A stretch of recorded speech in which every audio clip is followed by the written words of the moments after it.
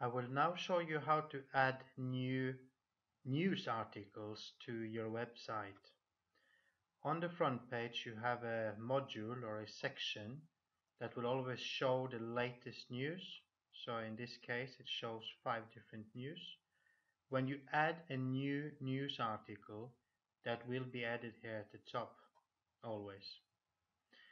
Uh, to create a news article you have to first of all log on to your front end by clicking login. You write your username and the password, no secret key. And you are now logged into the website. You can see that uh, because you get the edit icon over the different modules when you uh, move the mouse around on your front page. You now scroll all the way down and you have got two new buttons here. One, to create a support ticket. I will quickly demonstrate that in case you run into any problem. You basically write here what your problem is, your name, your email. You choose the Humana template, write the name of your website and tell us what the problem is. You have to type the number in here and you can save or attach files. Hopefully it wouldn't come to that. For now, you click Add News Article.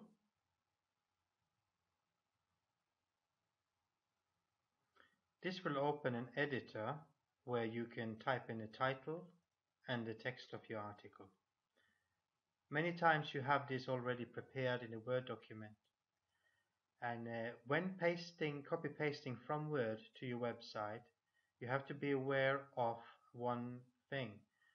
In Word, you already have a lot of formatting, like a font size that might be different than the one you're using on the website. You have a, uh, sorry, the font size and the font type. Here you have size 14, here you have size 11. You have some bold text and you have some italic text. And in all in all, this looks different than the articles that is already on your website. So you need to strip out all the formatting from this before you paste it in to your editor on your website.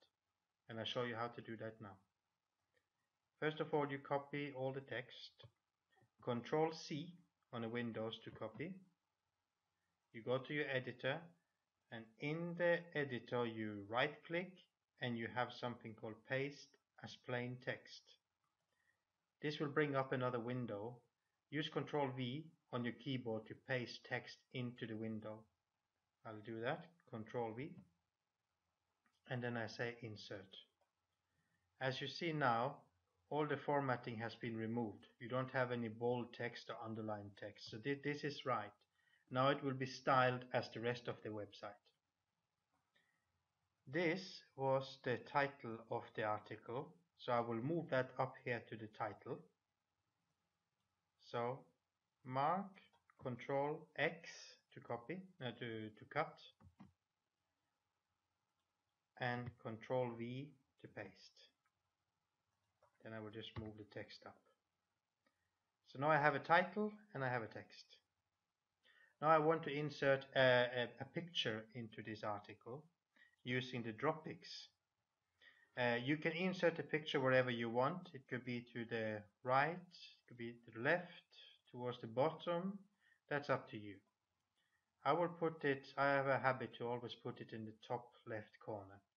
So I put the marker up there and I have a button called images Droppics down here.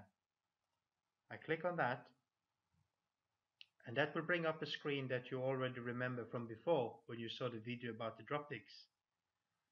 Uh, I have already prepared a couple of pictures in here uh, for single pictures and I could add any of these two but I can also on the fly add more pictures from here and actually use them instead. Um, in this example I want to use uh, this picture. And um, as you remember before we put a title on the picture that's still there. Everything looks okay. Um, a line to the left that's also what I want, to the left of the text or to the right of the text.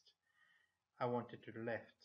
and it will show the thumbnails, which is the smallest type of picture that will enlarge when you click on it. I can now insert a picture by clicking up here and the picture has been added to the news article. Now all I have to do is to click save and the news article is now visible on the front page and it will open uh, with the picture to the left. I can also click on the image and the text, the title of the picture will show under the image. That's basically how you make a news where you add a picture.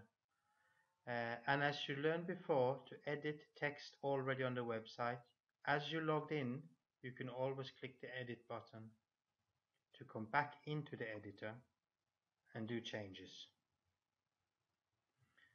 Um, I will also show you how to add a gallery into this article. Uh, when you make news articles, you always have to have a single picture first. And if you want to have a gallery, you can make that further down in the article. If you don't put a single image and only an article, and only gallery, on your front page, it will not show the picture. So that's the reason why you always need a single image first. Now if I want to add a gallery down here, I again click the images Droppics. I expand this and I have actually prepared a gallery here with six pictures.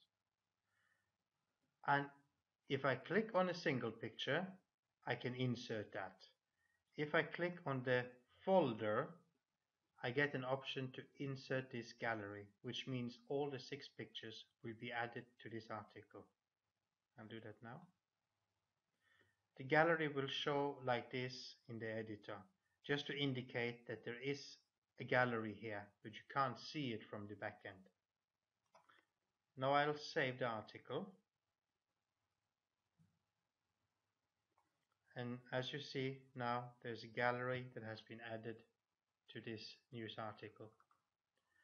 So that's how you add a gallery and if you click on it, it will open enlarge and you can click next next to go through all the pictures and here you see the importance of creating a title so people can follow the story of your slideshow.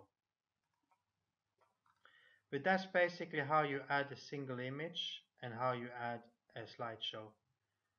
If I want to remove the slideshow, I just go back in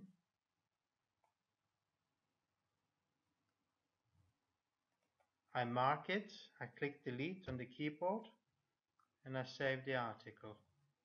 Now the slideshow has been removed. Normally the slideshows um, looks better if you have a longer text. Uh, also to add pictures, you can add several single pictures if you have a long text, some to the left and some to the right. Uh, you can add as many single pictures to one article as you want. When you're done, you click log out